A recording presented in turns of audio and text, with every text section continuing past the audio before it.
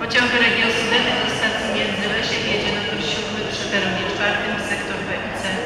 Pociąg Regio Sudety do stacji Międzylesie przez stację Strzelin Kamieniec Ząbkowicki Płocko wjedzie na tor 7 przy peronie 4 sektor BIC.